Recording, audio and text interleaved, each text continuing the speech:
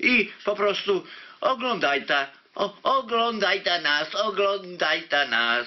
Jesteście kochane ludzie. się sam będę nagrywał, bo mam swojego komputerowca i wszystkie rzeczy zabiorę. Ten nowy komputer też wszystko pozabieram i po prostu gdzie indziej będę mieszkał, będę nagrywał te lajty i będę po prostu ludzie pomagają, będę opłacał i już. To najlepsze rozwiązanie jest. No właśnie widziałem, to słabo też ten Krzysztof zachował się bardzo nieładnie. Nie, No to, to widzicie. co on przed urodzinami pisma, pisma dla pana pisze, żeby wyprowadzić się z domu? Tak. Ja nie mam prawa w domu tu. No, tak. Nie wiem, co on tam mówi, ale nieładnie się zachował pan Krzysztof, nie po katolicku.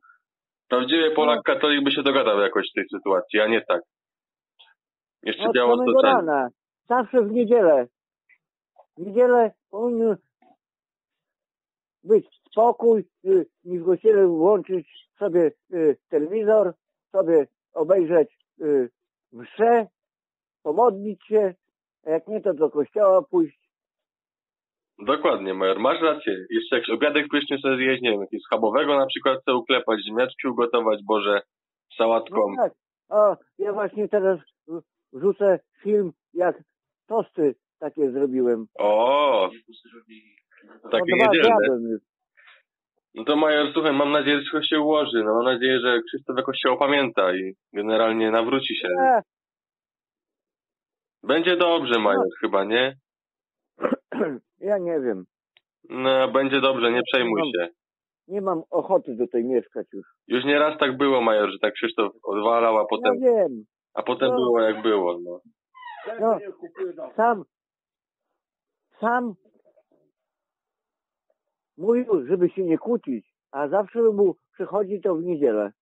O, No, no. teraz e, parę, parę dni to było spokój, cisza, normalnie rozmawialiśmy, a coś mu najdzie, to po prostu, o dzisiaj powiedział, to daj parę złotych, to dałem mu 10 złotych, żeby kupił mleko, tam napoje, tam też tam y, po prostu, żeby ten, a w taki sposób się zachowuje, ja nie będę go utrzymywał.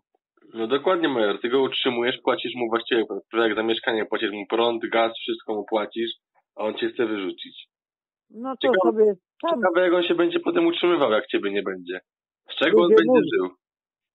ludzie mówią, że żeby mnie tutaj nie było, to już on by dawno zginął. No bo taka jest prawda. Taka jest prawda. No tak, bo jesteś konfidentem. Gadaj na mnie jak chcesz. A co ty, jak ty gadasz? Mam dla ludzi jak... Dobra, ja będę kończył. Mają jeszcze... No, na razie. Dobra, no dzięki, Byki, na razie.